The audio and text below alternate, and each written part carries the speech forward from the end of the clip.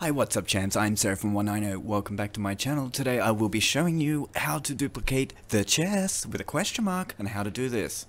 What you need to do is get out your creative tool or your your open your open your free build tool. That's the one.